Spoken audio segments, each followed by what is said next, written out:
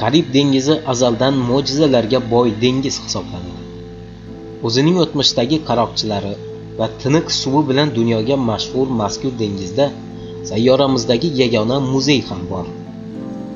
Dengiz tubidagi muzey grenada sohillari yaqinida tabiatshunos olim haykaltarosh Jason de Grace Taylor tomonidan tashkil etilgan bo'lib u taxminan 9 metr chuqurlikda joylashgan. Ushbu o'ziga xos muzey eksponatlari faqat haykallardan tashkil topgan va ular soni bugungi kunda 400 taga yetadi. Turli xil insonlar qiyofalari aks etgan haykallar soni har yili muntazam ravishda to'ldirib boriladi.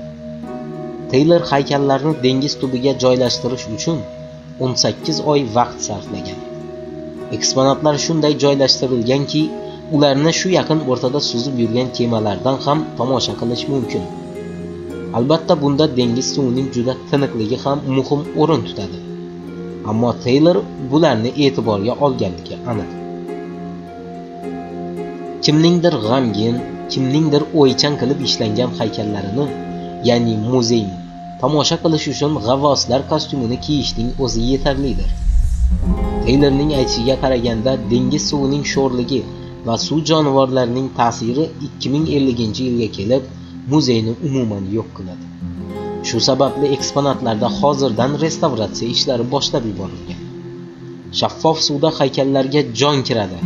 Ayniqsa quyosh dengiz tubiga tushganda haykallar tepaga ko'tarilayotganday ko'rinadi. Bunda esa teylorning uzoq yillar davomidagi mehnati asqotgan desak to'g'ri bo'ladi.